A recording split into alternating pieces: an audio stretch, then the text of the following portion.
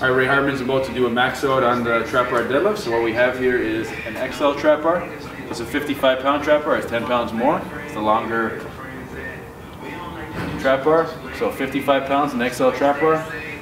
Six plates, a five, and a two and a half.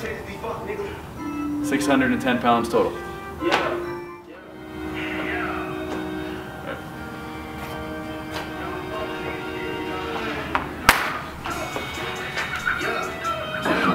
That's one.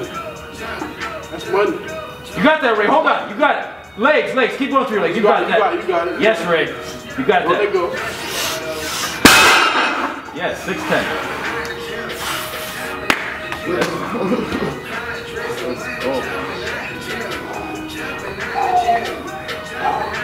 Now, what was, what was that? What was that? 610.